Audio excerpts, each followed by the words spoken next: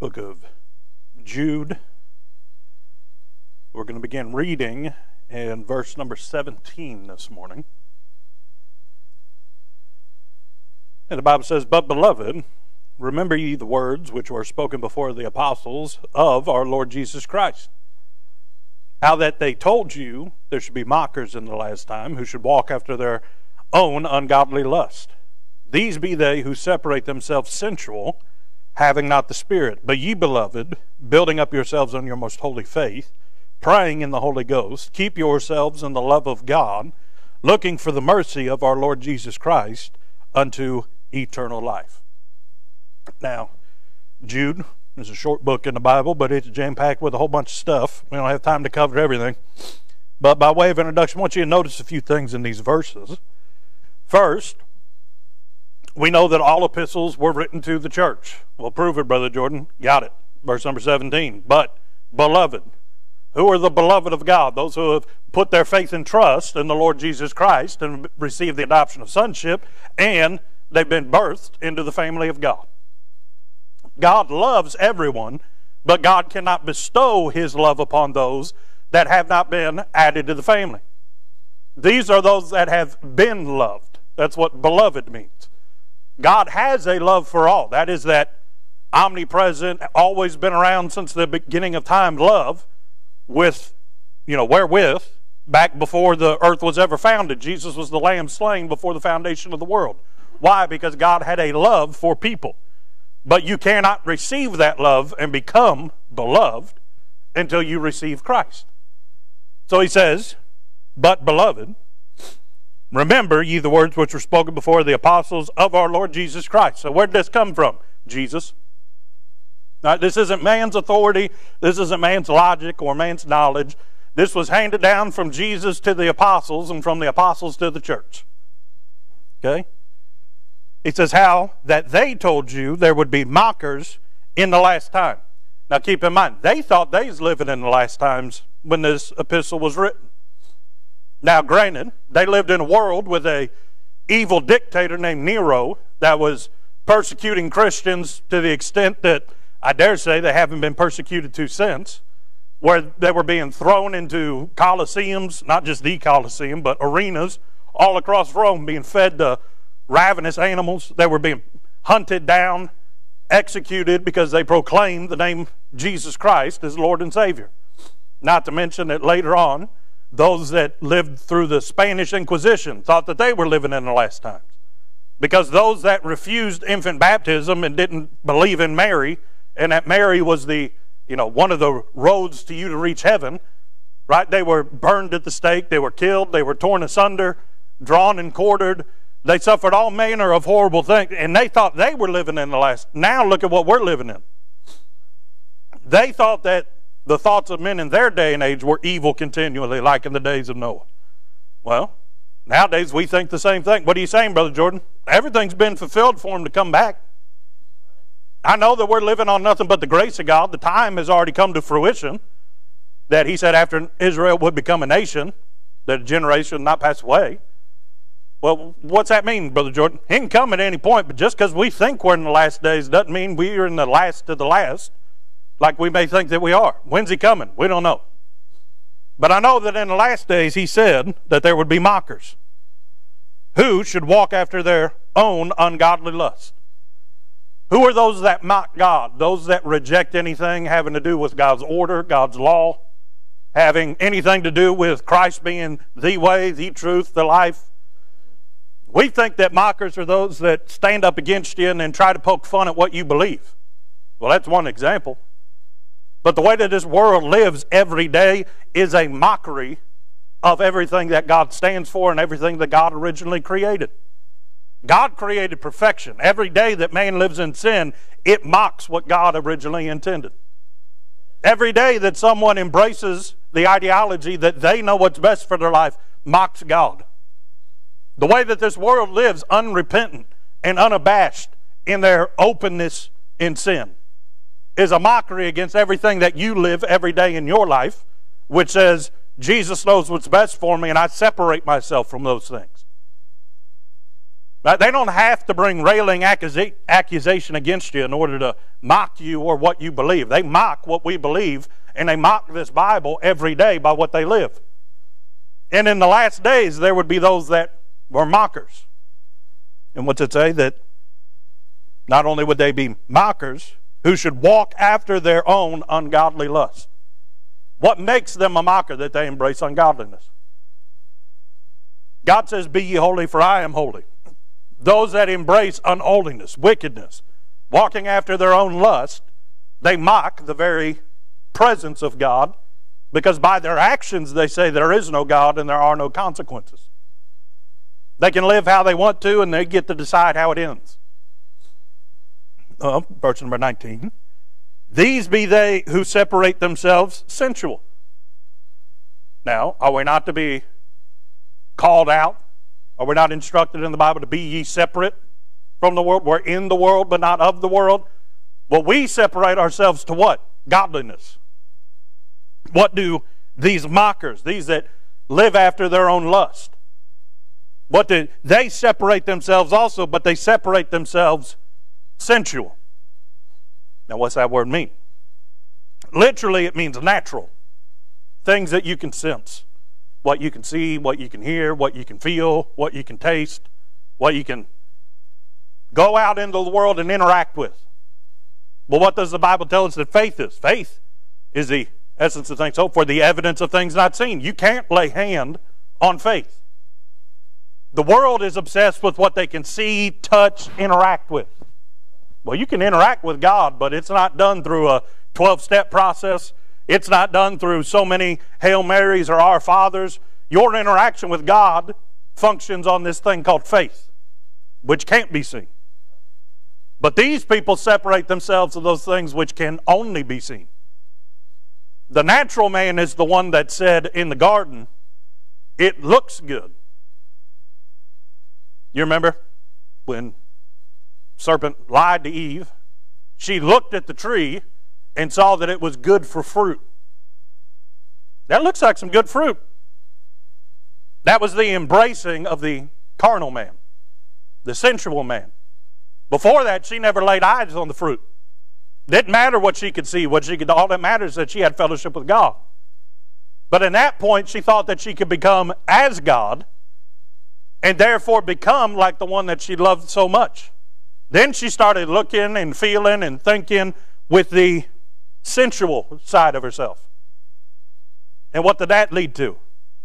It led to her disobedience, and then Adam, being the same way, knew how much he loved to have Eve, and he wanted Eve more than he wanted God, which is why he chose to partake of it too. Why? Because of the sensual man. Another word for that sensual part of ourselves is carnal. The desires of the flesh, lust of the eyes, lust of the flesh, the pride of life. Right? That carnal man is the old man, the dead man. That's the sinful man. Well, the world, all they know is carnal.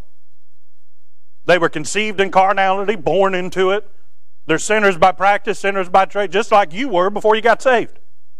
Before you got saved, sinning didn't bother you.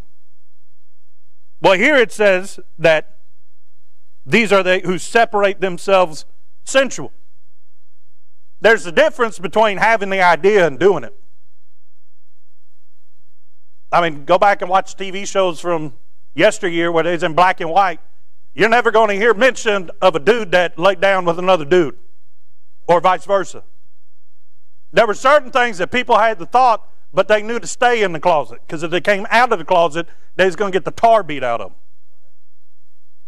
Right? Because society as a whole said, we don't condone that around here.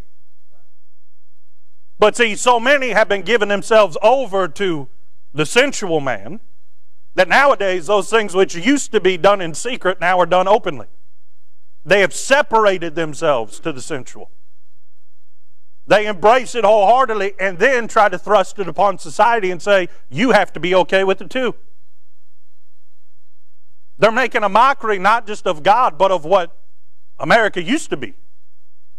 We don't want that old time stuffy, you know, Mayberry Street.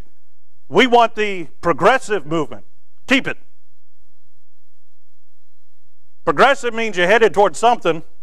And the Bible says, if a man thinketh he stand, let him take heed lest he fall. You're going to com- com- you progress yourself right off the edge of a cliff eventually. The old ways are the ones that are proven. There are none that say, restore the old paths.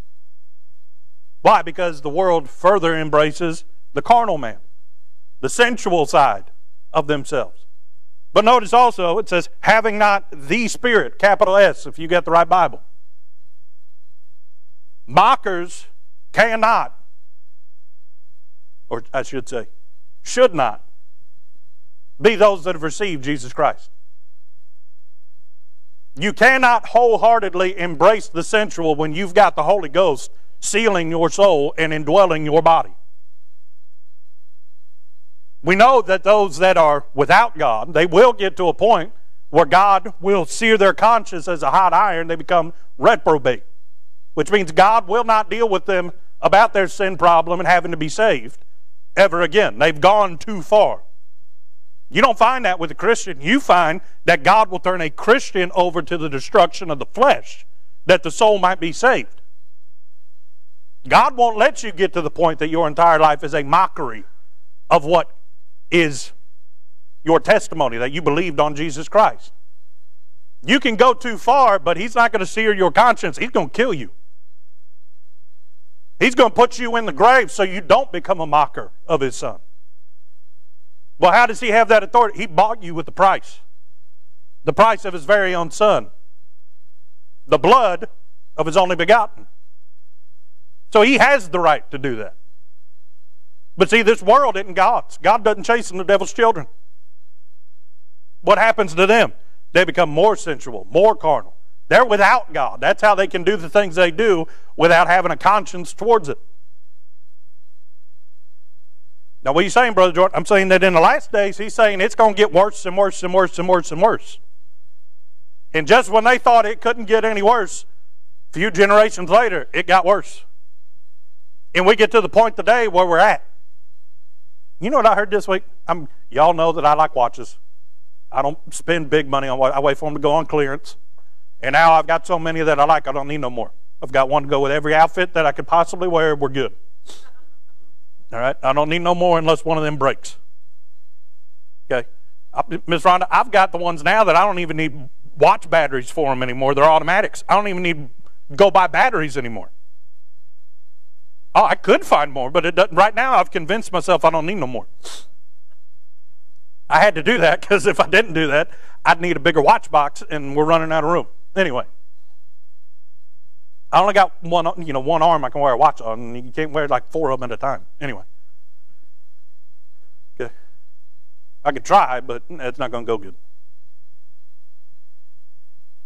But I heard, this week or last week, if you have a decent watch, I'm not talking a Rolex, not talking a Breitling, not talking about all those high dollar ones that, you know, they, they got French names that this hillbilly can't pronounce. Right? I'm talking about just a decent watch. And you're walking around the streets of London, England, there are guys that will run up, chop your hand off with a machete to steal your watch, and then go pawn it off. Happening every day. You say, in our world, in our world. Not out in, you know, middle of nowhere barbarian land, right? London, England.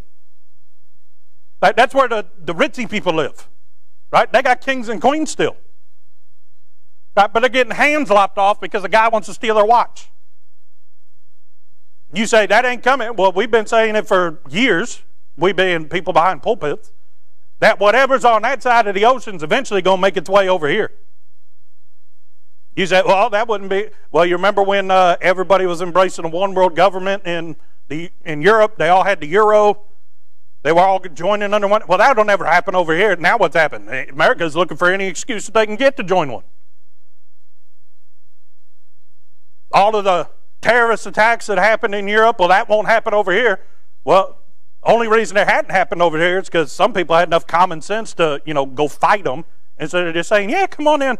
It'll all be good. If, you, if you're nice to them, they'll be nice to you. There's one problem with that. Their religion teaches that they have to kill you. Because to live in the same neighborhood as an infidel makes them unclean. That's what their religion teaches. What does ours teach? That we're to love the world. We're supposed to live peaceably among all men. But what happens? They're embracing the carnal, the sensual. And just because today our society isn't embracing it doesn't mean it won't be tomorrow. We got a whole, long, a whole lot wrong in America, but it could be a whole lot worse. But, and I've got to be honest with you, it's going to get a whole lot worse before Jesus comes back. Jude knew that. He's writing the church and saying, Y'all know this. You've heard this. This isn't new. He said, As you've heard from the apostles and Jesus. He said, You've heard it taught. I'm just reminding you. Don't lose sight of the fact that it's going to get worse in the world, but that doesn't mean that it has to affect the church. That's where we get to the next verse. Verse number 20 says, But ye, beloved, again, say folk, those that have the capital S spirit, building up yourselves on your most holy faith praying in the Holy Ghost, keeping yourselves in the love of God, looking for the mercy of our Lord Jesus Christ unto eternal life. He says, everything that's happening down here, that's not life. You were born, but you're not going to die here. Life does not begin and end on the earth. Life began at Calvary. He says, We're looking unto eternal life. The worse that the world gets, the sooner I know Jesus is coming back. Yeah, it's awful that we got to deal with it, and it vexes our spirit. Right? It makes living for the Lord a little bit harder than what we would like. But if it's easy, anybody'd do it. If it was easy to be right with God, Jesus wouldn't have had to come and die on the cross. If it was easy to become that new creature, Jesus wouldn't have had to send the Holy Ghost in order to help you become the new creature. But it may take a little bit more work, but it's still worth doing. This world is not our home. My home is a fair land where there's no imperfections. In fact, it's so great, it don't even need the sun and the moon because Jesus is going to be the light of that city. Right? It's got everything that you could ever desire, Him. It's got everything that I could ever need, Him. I'm not impressed with the world because guess what the world doesn't have? Him. I'm looking unto eternal life. Well, in order to look at eternal life, who do you got to look at? Looking unto Jesus, the author and finisher of our faith. He started it and he's going to finish it. So to look unto eternal life, who you got to look to? Jesus. Because he said he was the way, the truth, and the life. Came that we might have life and life more abundantly. Right? He's always been alive. He took a nap for three days, but he wasn't dead. He'd laid down his life and picked it back up again. He just took a robe off and then put it back on. Uh, well, says, Ye beloved, building up yourselves on your most holy faith. As I, in the context of what he's talking about here, the world getting worse and worse. He's saying you need to build yourselves up. I think of a storm coming into the coast. The waves of a normal day may be fine. You may have bricks laid up to where the waves aren't coming in to your property. But every now and then a hurricane hit. And what happens when a hurricane hits? Those people that didn't build themselves up or build their properties up, they're flooded. Why? Because they thought, well, it'll never come in this far land or this far inland. The waves will never get so high that my house gets flooded. I'm 50 or 60 or 70 miles away from the coast. Well, you think that until what? The storm hits. He's saying, build yourselves up on your most holy faith. Notice he says, building. That is a continual word. You never get to the point where you've built yourself up enough on your faith that you can lay down your tools and stop building. Why? Because the worse and worse that the world gets and the bigger the waves get, you're going to keep have to keep building to keep the water out, to keep the damage out. But how do you think we can go out and win the world without putting a wall up to keep the world out from where we're trying to get to? If we want God to do business, what do we have to do? We've got to separate ourselves. How are you going to do that without building yourself up? We're on the solid rock. We can't be moved. Right? I'm planted there. But the world's going to do all they can to throw all the water that they can into my property on the rock. It's still just as flat and still just as level. It's the chief cornerstone that God promised that Jesus would be. But that doesn't mean that the world's not going to try and rain on your parade. What do you got to do? You got to keep building yourself up. Every now and then a storm comes along and the wall kept the water out, but the wall got damaged. What do they got to do? Tear it out and put up a new wall. That's what that verse stand in the hedge, make up the gap. You got to look for a problem in order to fix it. Just because the wall looks okay on your side doesn't mean that the wall's sturdy on the outside. In fact, a lot of times those breakwaters that they build, they've got multiple layers. Why? Because the outermost layer will take the brunt of the force, that's the strongest, but then the next walls are to dissipate the water. You can do it that way without building up his. What's that mean? You got to go out into the world and put down some markers, set some standards to keep those waves from reaching those that you care about and want to see God go out and do something in their life. Build yourselves up not on what you can do. Don't build yourselves up upon how strong you are or how able you are to take care of your problems. We're talking about the whole world here. We're talking about the church. You think you're strong enough to keep a church together? No. You may think you are. I'll leave it alone. But you're not. You think that you're strong enough that outside of the help of God, you can keep your own family together? You think that you're strong enough to keep your friends and your family from dying and going to hell on your own? We're not to build ourselves up on us. And just as I am carnal, still robed in this sin cursed flesh, right? I've got that part of me that isn't perfect, but I've also got that part of me that he purchased with his own blood and is robed in his righteousness. But just as much as I know that I am weak and I am able to fail, I'm not to build myself up on somebody else. Right? We're not to have idols of man. Why? Because man's man. We are what we are by the grace of God and nothing else. But we are to build ourselves up not just on any faith, not just any belief, not any hope that you have.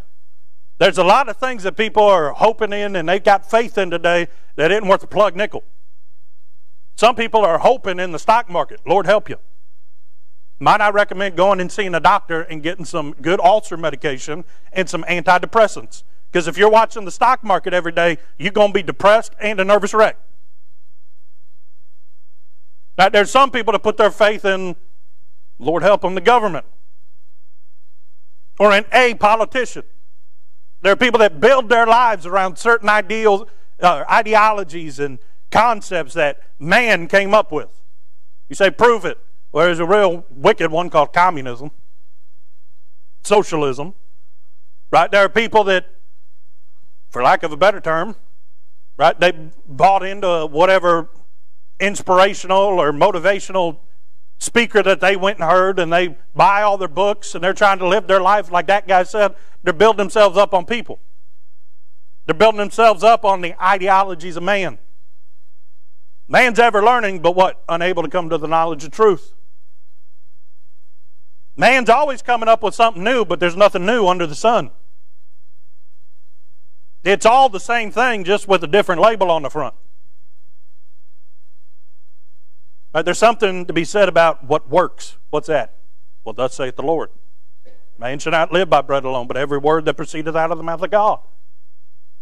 What are we to build ourselves up on? Our most holy faith.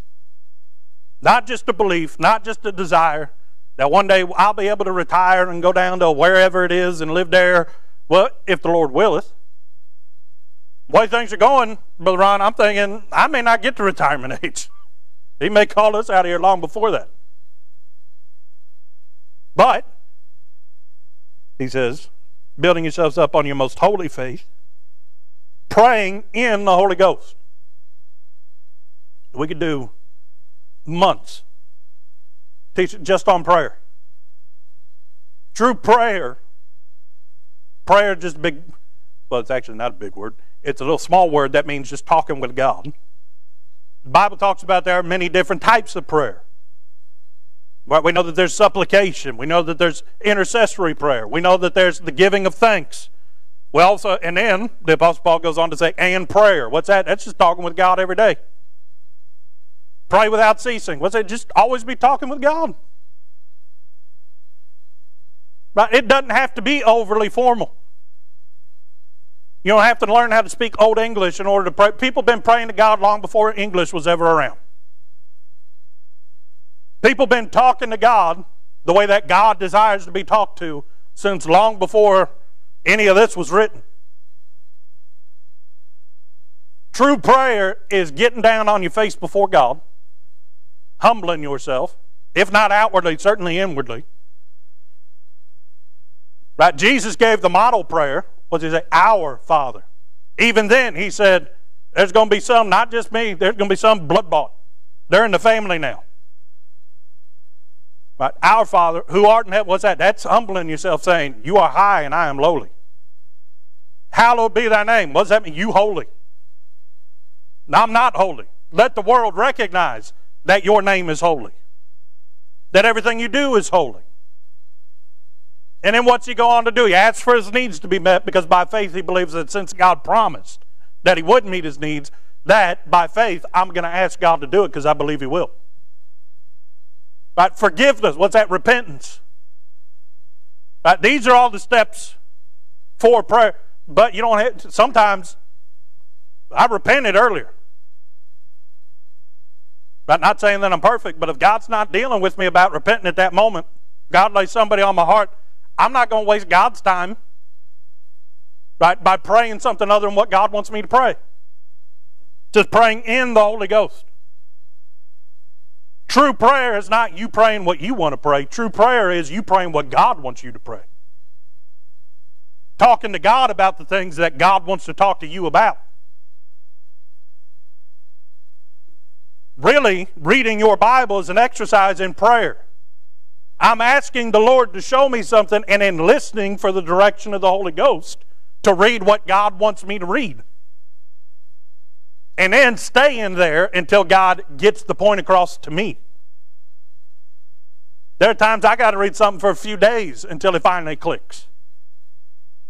Right? But by faith, I'm staying there because God wants me to show something or wants to show me something. God wants to, I know there's something there, so by faith, I'm going to stay here until God delivers it. Praying in the Holy Ghost. Right? Lord, I know I have my own desires. But I don't even know my own heart because it's deceitfully wicked. Lord, my desires in my ignorance and in my inability to grasp God's true perfect will, what I desire may not be in the will of God. So, Lord, I'm going to set my desires aside. Lord, have me pray as you would have me pray. That takes faith, that takes discernment. You've got to be built up on your faith before you can really start praying the way that God wants you to pray. That's why, in truth, there is no sinner's prayer when they come to God. You know what you prayed when you got saved? What God had dealt with you, with you about through the Holy Ghost. But I know it went something like this. You came, said that is a sinner, and asked God to save you. Well, how do you know that, Brother Jordan? Because with the mouth confession is made unto righteousness, with the heart man believeth unto salvation. Well, he's saying, you got to admit that you're not holy, he is, and you believe that he'll save you and make you like him. That's the requirements to getting saved, other than the fact that the Holy Ghost has to deal with you. Because no man comes unto the Father except Jesus, through the Holy Ghost, draws them. What'd you pray when you got saved? What God told you to pray? Every time you've really done business with God in the prayer closet, you know what you prayed? Whatever the Holy Ghost told you to pray. And when you don't know what to pray, you just believe by faith that the Holy Ghost is taking those groanings and utterings that can't be discerned by man and taking them to the throne room of God, and you're just waiting on God to do something even when you don't even know what to pray. He's saying it's not enough to, you know, bow down. We know that God's not in vain repetitions, as the the heathen, right? The unbeliever, they think that through much talking they're going to merit favor with God. Sometimes the most favor that you're ever going to find in the eyes of God is when you're not saying a word, but yet the Holy Ghost is taking those things that are groaning from your very soul, and He's taking those to the throne room of God. In the last days, He's saying, it's not enough just to fall down before God and say, Lord, please do this and please do that. No, Lord, I don't have time to waste your time, and the world certainly doesn't have time because it's waxing worse and worse. I'm going to pray what you want me to pray and nothing else. Lord, get me to the point that, one, I know your will, but then I'm praying that your will be done. And that I ask nothing amiss that I might consume it upon my own lust. Because, Lord, I know if I ask, I'm going to receive. If I seek, I'm going to find. And if I knock, it's going to be open. So I want to pray your will and make your will my desire so that I can see your will done and my desires be fulfilled. In order to pray, as he's saying here, in the Holy Ghost, you have to be past the point of meddling in sin, dabbling in sin straddling the fence, trying to serve two masters. You can't pray in the Holy Ghost if you haven't been in fellowship with the Holy Ghost all week. You can't come and lay prostrate before God and pray what God wants you to pray if you haven't been anywhere near His Word, if you haven't been in fellowship, if you haven't been meditating on the things of God, if you haven't been out there walking hand in hand with Jesus. He's saying, build yourselves up on your most holy faith, but then, why do we build ourselves up? So that we can walk with the Lord every day. We've got a sure foundation. So he's saying, make sure your house is builded the right way so that you can leave the house, not have to worry about it falling in on itself because you build it on Jesus. And you can go out and walk in the world and live the will of God. We're not to be huddled inside of the church. No, the church is supposed to be advancing. We're supposed to be building out there, but too many of us trying to patch all the holes in our house. You know why the holes keep showing up? Because you're trying to put bricks made of clay in there. He says wood, hay, and stubble is going to burn up, but we can use things that will last for all of eternity to build our lives upon. He's saying once you build yourselves up, continually building yourselves up on your most holy faith, then you can get to the point where your walk, you can talk every day every second of every day in the perfect will of God by the guiding of the Holy Ghost, you can do it. If we couldn't do it, why would the Apostle Paul have written, pray without ceasing? God wouldn't command you to do something that you can't do. Because then God's just making you a sinner. If God said, Be ye holy, and He knew that there was no way for us to be holy, then he marked us as sinners for all of eternity, and he knew that we couldn't keep it. But no, he commands us after we get saved, be ye holy. Why? Because through the leading and guiding of the Holy Ghost, through him putting you on the potter's wheel, you can be holy. Not in his flesh, but robed in his righteousness, you can have a life that is holy for God. You say, well, that takes a lot of work. That's got to be hard. Yeah. But if it's worth having, it's worth the effort. Then he goes on to say, Keep yourselves in the love of God, looking for the mercy of our Lord Jesus Christ unto eternal life. He says, Keep yourselves in the love of God. Two things I see here. This is where I really wanted to get to today for the lesson. See, if you're in the love of God, then we get the latter part of the verse looking for the mercy of our Lord Jesus Christ. If you're living outside the love of God, you cannot expect the mercies of God. You cannot expect the grace of God. God doesn't pour out his blessings unto the world. Why? Because they would be waste. He only pours it out to his children. But the prodigal, when he's down there in the hog pen, the father wasn't showing up and giving him more of an allowance. He knew that in order to get the benefits of the Father, where do you have to be? At the Father's house. So, why would we expect, even though you may be saved on your way to heaven, if you're not living in the love of God, how in the world could you expect to be blessed of God? He says, We're looking for the mercies of God. Daily, He loadeth us with benefits. Right? He blesses us so good it almost breaks us. If you really took the, the time to think about how good God is to you, it certainly would break your heart. But God's so good, that we can't even comprehend this side of heaven how much God loads us up with every day. But how can we expect or how can we be looking for the mercies of God when we know we're not in the position to receive them? The love of God is a place, but the love of God is also a mindset. Keep that in mind. But he says, keeping yourselves in the love of God. Did not God tell us that He loved us with an everlasting love? That means that God's love is just as permanent as He is. Because it says that God is love. Love is just as much a part of God as holiness and His righteous indignation and His eyes of fire. But see, God doesn't keep us there. God's love's always been, and it's been in the same spot. Just as He's forever settled in heaven, right? His love has been forever established. It is a place. God doesn't keep you there. God knows where His love is. If God's love was this stage, this stage don't move throughout the week. Right, when we go out the sanctuary, guess what? Stage stays here. It's got the same perimeter that it did last week and ever since the building was built. Right? It is unchanging. It's unmovable. Why? Because Brother Ray put it in and he made it permanent. It's sturdy. It ain't going nowhere.